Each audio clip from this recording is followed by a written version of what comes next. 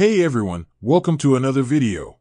Today we're going to talk about issue number one of X-Men Before the Fall First Strike, written by Steve Orlando. But before we dive into the story, I want to say thank you for watching my videos and leaving great thoughtful comments down below to help the channel grow. For without all your help, I wouldn't be doing this. And I'm happy to be bringing some value to my viewers. Thank you. The anti-mutant organization Orchis has launched its next offensive against mutant-kind, spreading anti-mutant propaganda and fomenting dissent among any would-be supporters of Krakoa. But despite the growing unrest, there are still those who need help beyond what humans can offer, and mutant-kind doesn't turn their back on those in need easily. So with that said, this issue opens on a peaceful day, much like any other day. For in the city of Milford, New Hampshire, people live their life free of worry. Until out of the blue, a massive explosion goes off in the heart of the city, rattling the nation to the core, completely devastating the entire city and setting the tone for everything else to come in the future. For all over the world, this disaster was seen as an act of mutant aggression.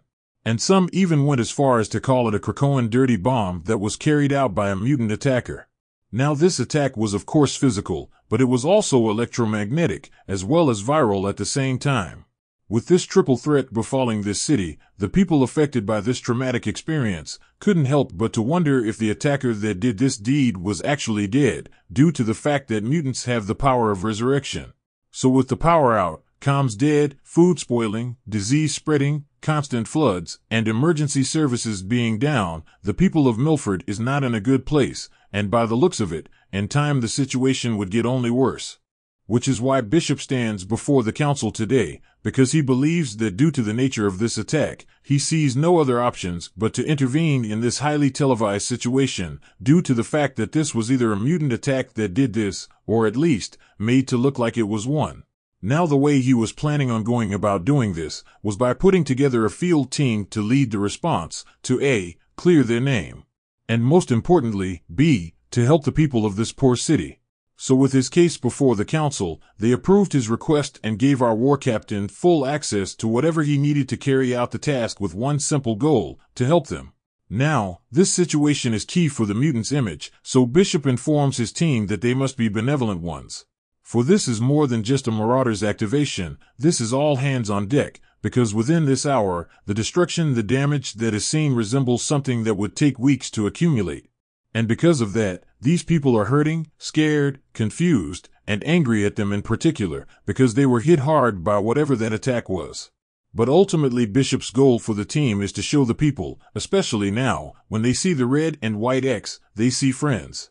So with that said, we see Bishop leading a powerhouse team made up of Jean Grey, Storm, Cyclops, Iceman, Tempo, Penance, Triage, and Angel. Now with X-Corp out in full force, they will have their work cut out for them to do what they have to do. So with that said, we shift over to the Bloom station over Earth, where we see Judas the Traveler asking for a report narrative on the situation. And through that, we learn that this attack was no mistake, but rather a custom X-Gene attack made by Orchis, and within the first five hours since detonation in Milford, the infrastructure, sanitation, health, and safety is critical, and all the viral agents are active. And the way they are pulling this off so fast is because it is all accelerated by their chronokinetic plugin, which as you may have guessed speeds up the effects. So with everything going according to plan, phase two of the attack was about to begin, with Judas calling for the dogs. So with the dogs en route, we jump over to Tempo talking to Penance, while Thea is holding up a force field in order to keep people away from the discovered bones. For Tempo finds out that this set of bones was emitting a temporal nudge that made hours of disasters feel like days. But luckily due to Tempo's understanding of time, she was able to cancel the effects of the nudge and stopping the flow of accelerated effects. So with the skull contained, Penance and Tempo goes on to discover that the X gene was custom and assembled sloppily and never meant to last, for it degraded quickly, which caused this disaster. So speaking of disaster, the dogs attempted to run down on the city but were quickly stopped by Cyclops and a squad of mutants. But despite their engagement, Bishop points out that it was still important to maintain the relief efforts. So with Cyclops and a small detachment holding off the waves of war dogs, Bishop and his team continue to support where they can. One way they went about doing that was by dispersing the biotoxin gas from the air by using Storm's power.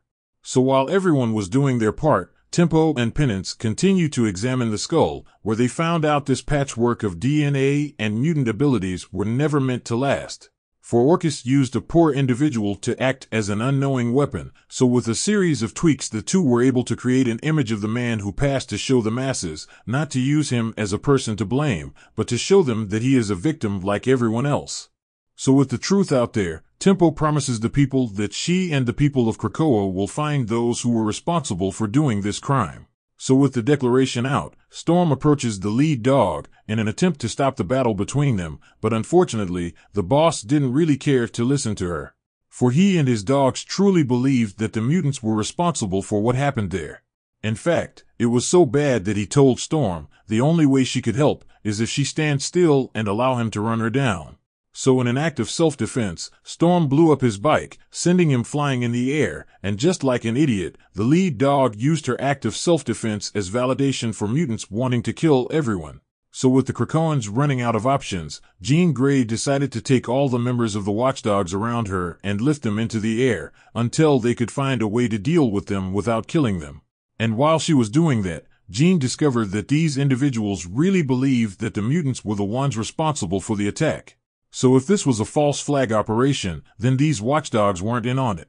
And to be honest, much like Milford, the watchdogs were also being used as pawns.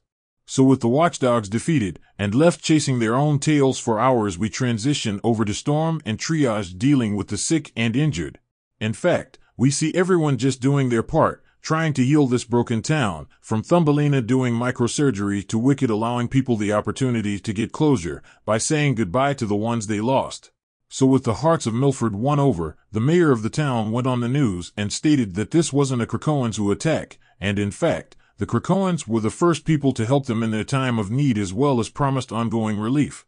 But no matter how much the people of this city believed in the mutants, the mainstream news had other ideas, for they still pushed the notion that the mutants were the ones to cause the explosion. It was so bad that they put the leader of the watchdogs on the news, where he could still push his agenda blaming the mutants for the attack and how they are responsible for everything going wrong. Because at the end of the day, people believe what they want to believe, and as of right now, the mutants are the popular ones to hate. So with that said, many people feel this was yet another act of mutant aggression, and they've got a right to believe it. So with that said, X-Men before the first strike comes to an end. So down in the comment section below, let me know your thoughts about this issue and what predictions you could have moving forward. So with that established, I hope you enjoyed this video and please don't forget to leave a like and a comment if you want to see more videos like this. Thank you for watching and I'll see you in the next video.